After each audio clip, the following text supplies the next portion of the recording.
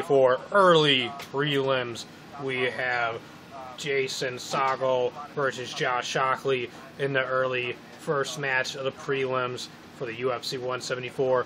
And this one doesn't even make it out of the first round as Jason ends up uh, making the uh, referee stop the fight as he was on top of Josh, just beating him down, throwing haymakers left and rights on top of him in the back of the head and the side of the head.